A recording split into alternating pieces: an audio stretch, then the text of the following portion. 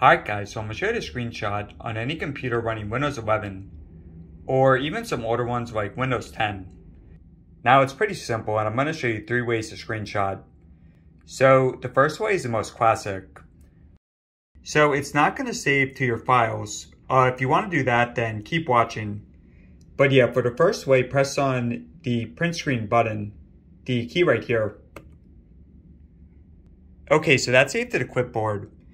So what you want to do is at the bottom here, just press on search and search for Paint or a similar program like uh, Adobe Photoshop. All right, and on your keyboard, just press on Control and V to paste it in. And yeah, you can do stuff like add text, uh, draw on it, a bunch of stuff. All right, so let me just, oh, and if you want to save it, just file and save. But I'm going to quit out.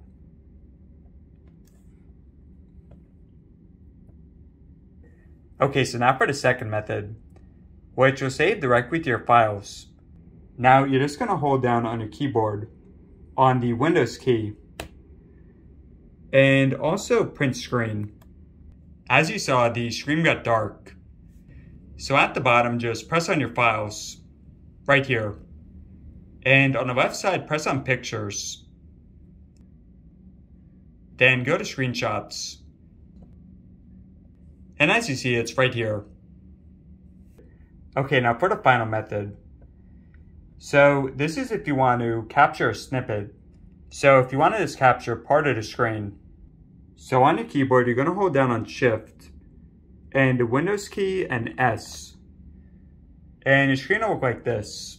So you have this toolbar at the top here.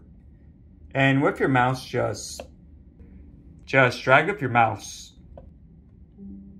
Okay, so you see it in the bottom right, just click there. And yeah, from here you can make some adjustments and save in the top right. And yeah guys, all there is to it. So I hope this helped out.